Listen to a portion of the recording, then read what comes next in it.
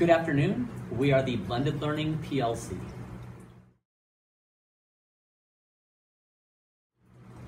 So we defined blended learning as the routine and consistent use of technology in the classroom. Now this can be in the classroom or you can also do it outside the classroom where it's available 24-7 for kids to access whenever it best suits them. I had some goals for starting the school year this year that I wanted to come in and change a little bit of how my classroom worked. I knew that there was a lot of technology available and a lot of things I could use if I leveraged the internet and the connectivity that these kids automatically have to the internet using their phones and everything else. I challenged myself to consider what if I could put all the direct instruction stuff on the internet available to them. That way, students that need vocabulary and lessons and kind of just direct download type information could literally go to the web whenever they wanted to and download it. And then I could take my time inside the classroom to work with them more personally, one on one. Use that time for things that they can't do at home. Uh, they can read a book at home, that means they can check a video at home. Those are the things that I wanted to offload and put on the web and let them do in their time the things that I want them to do in the classroom with me are the interactive things. Personally, I would much rather be rotating between groups or students doing activities, providing scaffolding help when needed, giving a little bit of extra ideas that students may have, answering any questions that students may have. Um, I would much rather uh, be hands-on, one-on-one for small moments of time than standing in front of the class giving directions to 30 students. It also helps you when you're trying to be consistent because you can give each class the same thing if you record it. So it's you at your best. And so instead of being like, oh, I missed this in second mod, but I did this in my set, you know, third class just right. And now you have to remember what to go back over.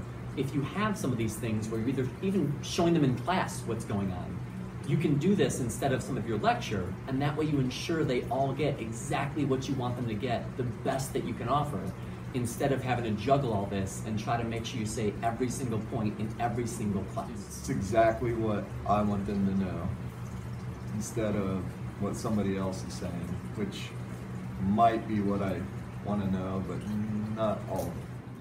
What I would really like to do in my classroom is to get kids to experience science through activities and hands-on ideas. This is difficult when you have to spend much of your time introducing techniques, ideas, instructions for labs. It'd be much easier if kids could come into the classroom, know what needs to be done, and get started on the lab right away. That way we have the entire time to collect data, analyze the data, and come up with good responses for a scientific class.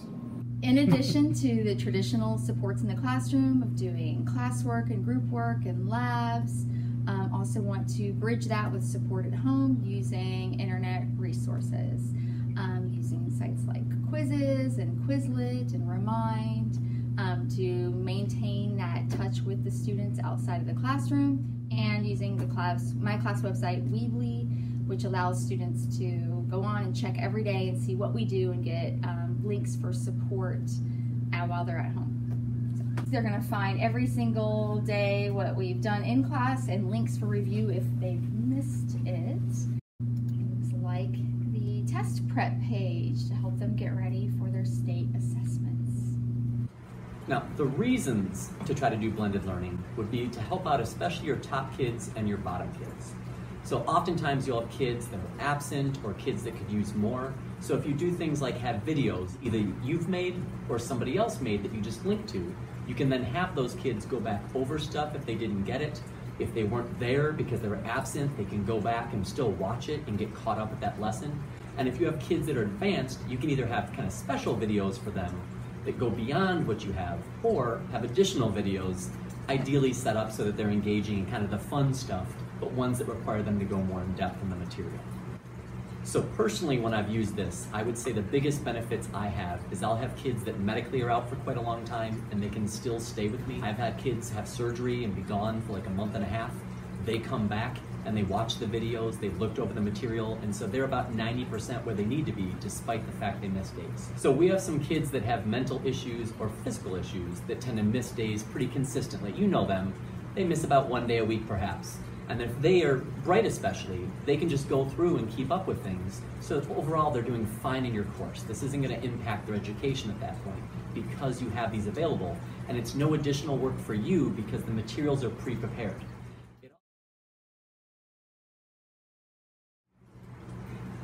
So we thank you all for listening to our presentation. We hope you enjoy it, and we hope you'll consider continuing to learn with us how we can better improve our instruction in the classroom and outside the classroom.